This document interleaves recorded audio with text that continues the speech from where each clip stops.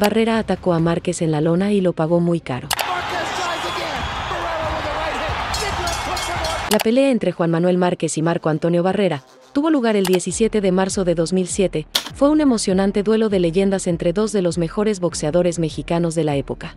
Tanto Márquez como Barrera habían alcanzado la cima del boxeo mundial y se habían ganado el respeto y la admiración de los aficionados por su habilidad, valentía y determinación. La rivalidad entre ambos púgiles añadió un elemento extra de intensidad a la pelea, lo que aseguró que el enfrentamiento fuera uno de los más emocionantes en la historia del boxeo mexicano. La campana suena y comienza el primer round de la pelea entre Juan Manuel Márquez y Marco Antonio Barrera. Ambos boxeadores estudian en el centro del ring, midiendo la distancia y buscando oportunidades para conectar.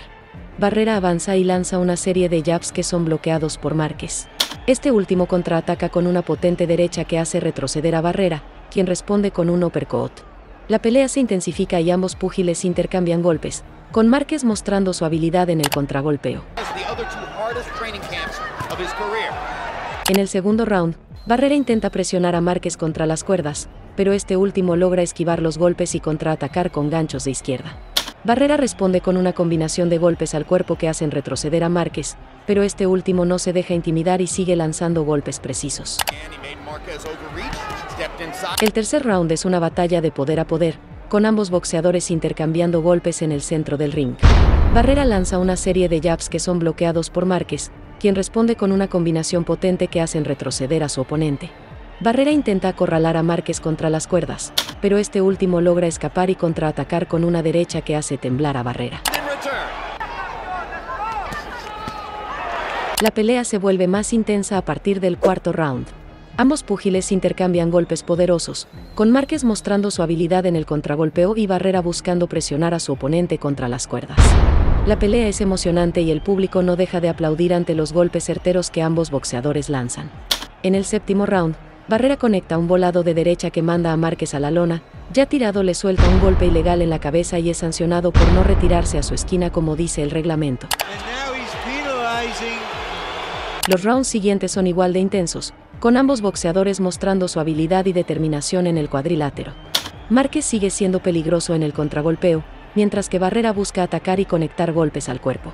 A medida que avanzan los rounds, la fatiga comienza a hacerse sentir en ambos púgiles, pero ninguno de ellos se rinde.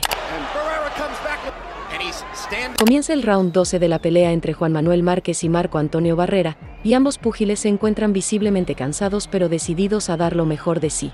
Márquez y Barrera intercambian golpes en el centro del ring, buscando la oportunidad de conectar el golpe decisivo que les permita ganar la pelea. En los últimos 10 segundos, la emoción es palpable en el aire y Márquez y Barrera soltaron una gran cantidad de golpes, conectando con fuerza y precisión. El sonido de los golpes resuena en la arena y el público está en pie, aplaudiendo y gritando de emoción. La pelea llega a su fin y ambos boxeadores se van a celebrar con sus respectivas esquinas. Los jueces anuncian su decisión y el público espera ansiosamente el resultado. Al final, Juan Manuel Márquez es declarado el ganador por decisión unánime, en una pelea memorable que será recordada por mucho tiempo. En conclusión, la pelea entre Juan Manuel Márquez y Marco Antonio Barrera es considerada por muchos como una de las mejores peleas en la historia del boxeo mexicano. Fue una pelea intensa y reñida, con ambos boxeadores mostrando su técnica y estrategia en el ring. A pesar de la sanción a Barrera en el séptimo round, la pelea siguió siendo competitiva y emocionante hasta el final.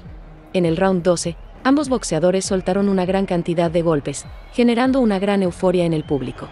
Al final, Juan Manuel Márquez fue declarado el ganador por decisión unánime, pero el público reconocía la valentía y habilidad de ambos púgiles. Soy Vanessa y este fue el combate. Déjame en los comentarios qué pelea te gustaría ver para el próximo video.